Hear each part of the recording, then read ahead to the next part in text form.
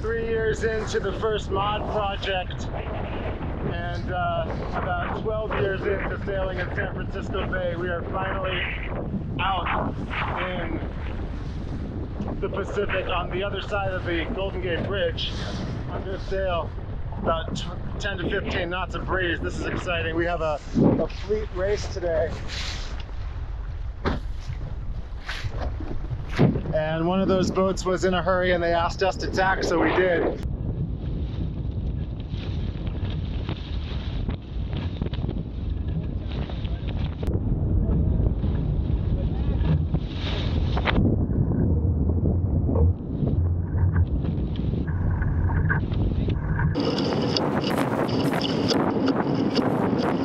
Boat's doing pretty good in these conditions. All right, tacking.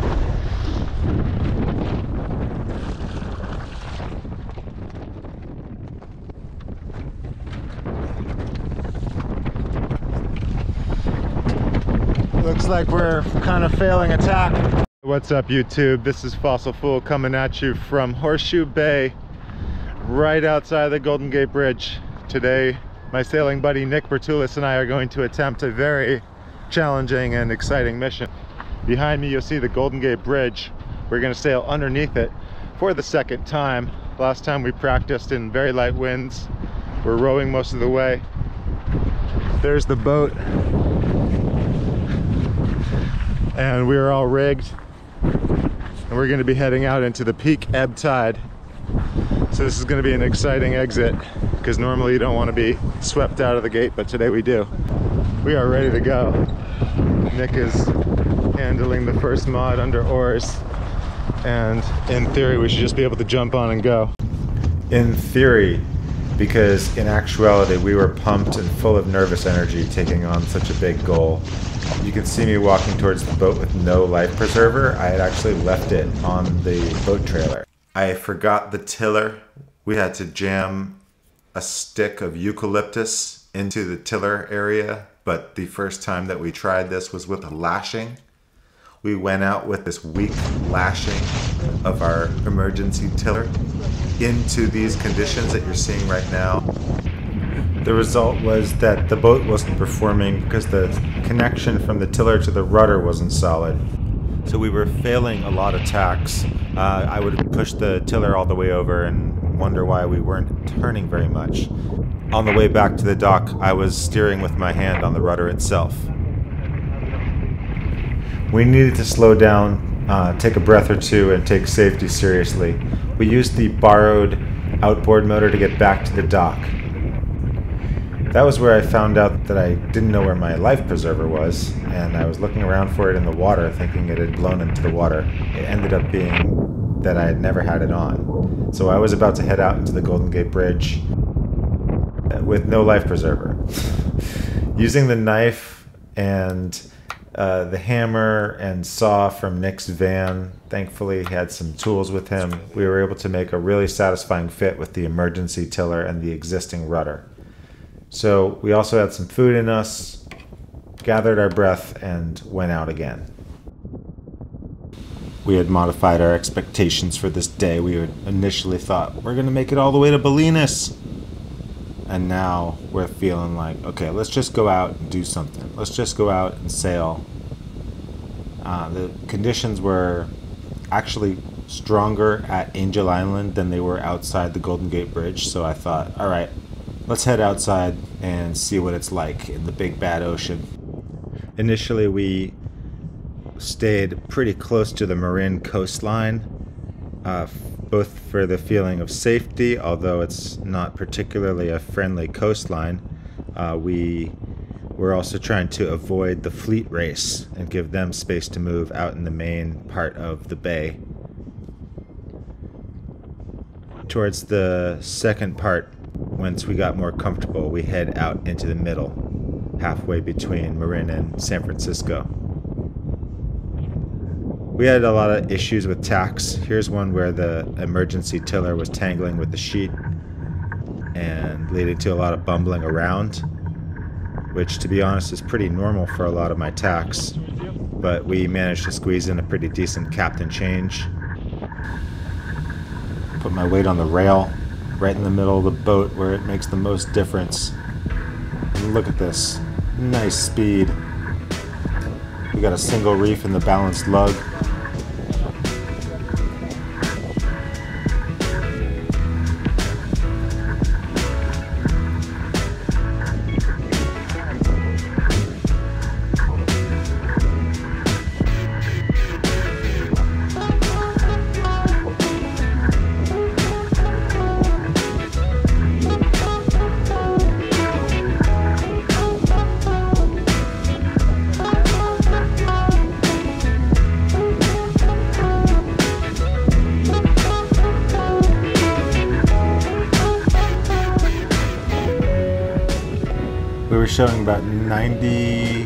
Square feet of sail with the balanced lug for a 17 foot boat.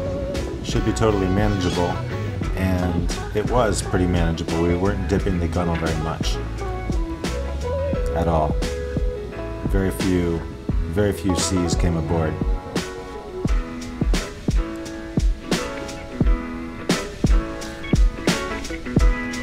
With the big colorful spinnaker sails are heading back in and the ones with the white and black sails are racing out. And here you can see Nick taking his hand off the tiller for a few moments to adjust something, get up on the rail, and the boat just tracking. And look at that stability.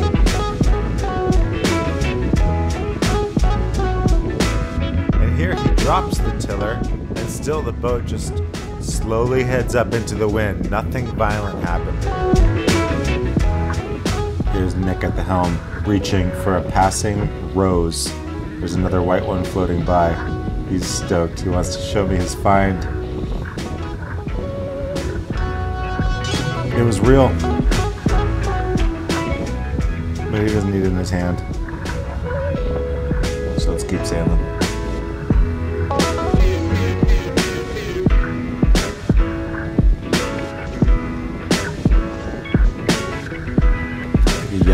Represents friendship.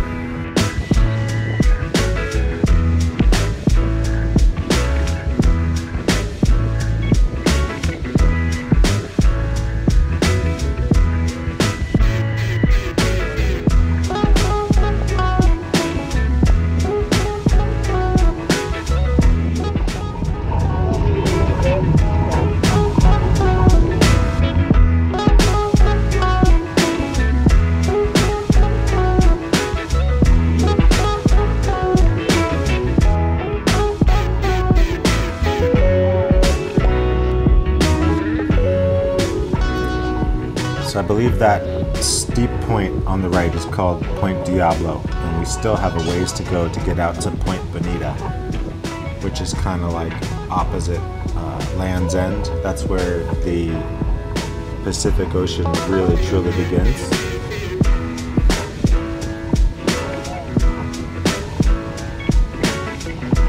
That was slicing pretty nicely through the water. We didn't smack a lot of these waves. It was pretty smooth crossing the waves.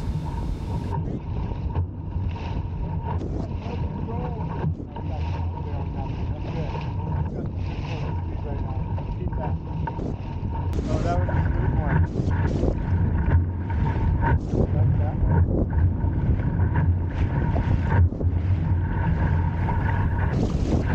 The camera is the Insta360 X2. It's a 360 degree camera in which you select the viewing angle afterwards. So this clip has already passed through my inspection and I've selected this angle and this level of zoom.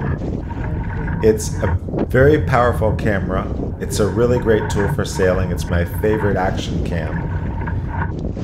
Now the fleet race has completely left us. They're way back on the other side of the Golden Gate Bridge, and we're pretty much out in this body of water alone, which was a little bit intimidating, I have to say. Like, I mean, everything was going really nice. The conditions were enjoyable, but still, I don't know who would have listened to our radio call if we did call. We carry a basic handheld UHF. Does that even reach to where the Coast Guard is? We have some smoke flares. We have our cell phones, but those are hard to use if they're wet. We do have the outboard motor that I'm borrowing. But uh, this was not really foremost on our mind today because of the conditions and because I wasn't alone. Uh, I had this feeling of safety in numbers with, you know, being in the boat with Nick. And um, we were far from land. We just decided to go right out into the middle after a certain point, just do longer tacks since things were just so predictable, so nice.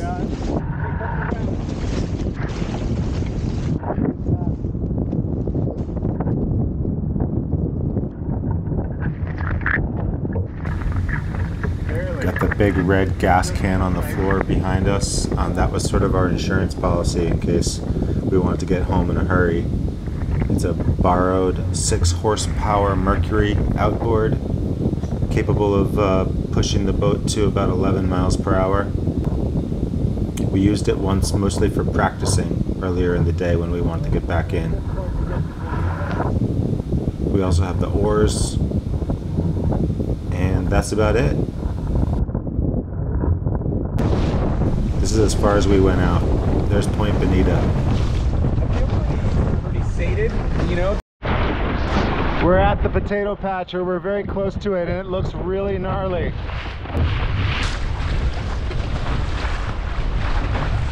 We're not going to pass through it. Let's turn.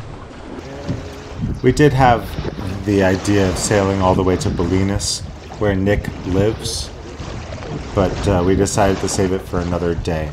I want to show you some of the issues I'm having with maneuvers. Look at this jibe. I'm facing away. I'm looking actually behind. Then the jibe happens, I drop the sheet, gather up the sheet, start looking where the boat's actually heading. This is like the the prey, the prey school of jibing.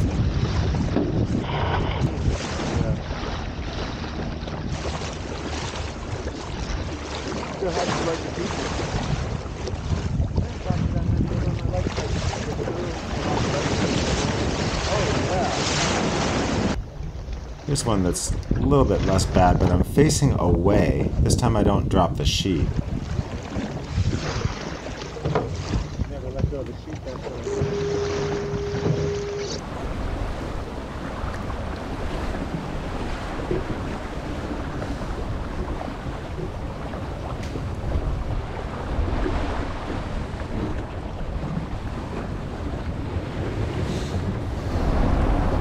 About a year ago on uh, a video on this channel, I was musing about whether I would get under the Golden Gate Bridge.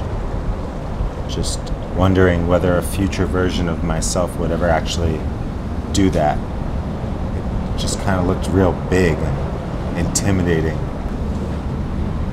This moment was like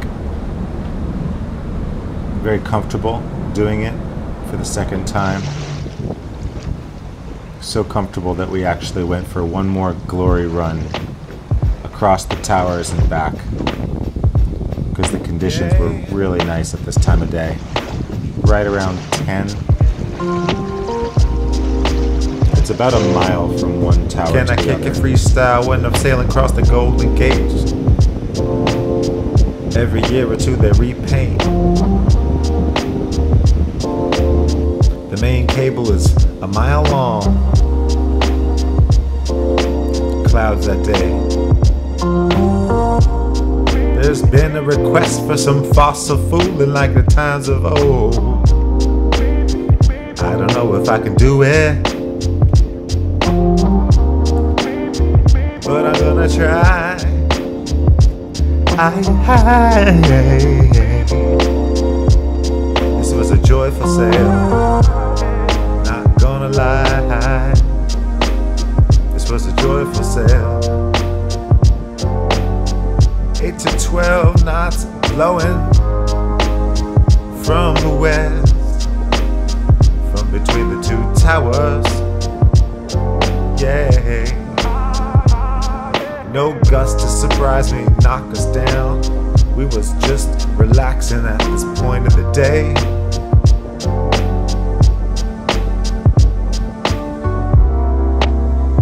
On my channel.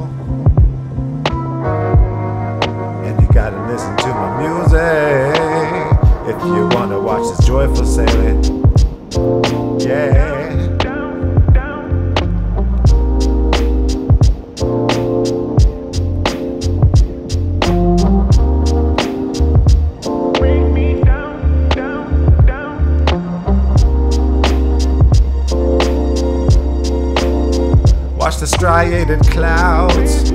YouTube is a weird place. How about a rap? Now we're halfway across and we ain't been knocked down by a single gust. This is better than lockdown.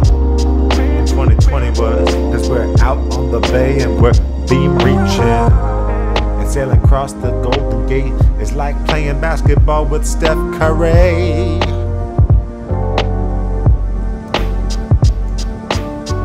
Gotta say something about Ross Lillistone, the designer of the first mate. Scaled up, became the first mod. Nobody thought it was cool to build a boat translucent, but it was, cause I can see the shape of the water. I pursued my own dreams. Yay! Is this a flex? And is that okay to do a flex? Once in a while, is it okay to do a flex? Let me know, drop a comment.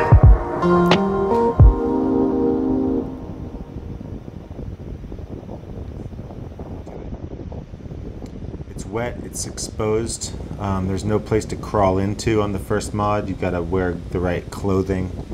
So it's not for everybody. I ended up with this boat because I was drawn to the experience of bike sailing, of towing this boat to the water by bike. I wanted to make the biggest, safest boat that was still possible to tow to the water by bike. And we've had a lot of great bike sailing missions. Uh, right now, I'm actually on a hiatus from bike sailing because um I need to revamp the, the tires and the wheels to avoid flat tires and broken hubs. And filling that void has been um, launching around the Bay Area by electric car. So we actually launched at the Golden Gate Bridge, which is not a very bikeable location. But the cool thing about it is you can do it. There's no one telling you you can't do it. So, got up in the morning, had my coffee, hooked up the boat, drove to the put in, and did this day sail, which is not revolutionary to many day sailors, but for me, it's a new era opening up. It's also helping to put the focus on sailing and skills, safety, as opposed to the bike system. Now that I've had this chance to try day sailing by electric car, it definitely is making the bike sailing feel more difficult to pull off. And it's like a Pandora's box in a sense because once you go towards the car, you don't go back. And I feel drawn to completing and returning to the bikes uh, project especially in the summertime when the sailing is so good right at Emeryville, which is two miles from home. And I do want to document the return to bike sailing, hopefully a triumphant return. Now we've crossed and we're very close to our takeout point and we're about to switch to oars and I've put the boat into what I thought was a heave to formation. The centerboard is up. You could see that the the plunger is resting on top of the centerboard case.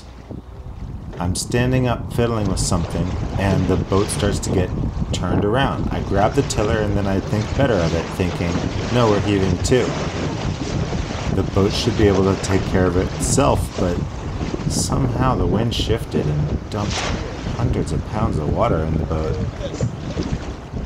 And I don't know what I did wrong except that I think the sail was too close for heaving to. So let's take another look. The sail's kind of close. I think I'm supposed to let the sheet out further for heaving to. If the sheet's further out, then the uh, heeling moment won't be as bad. And when that heeling was happening, man, that whole side rail was pivoting the boat, acting like a big fat dagger board.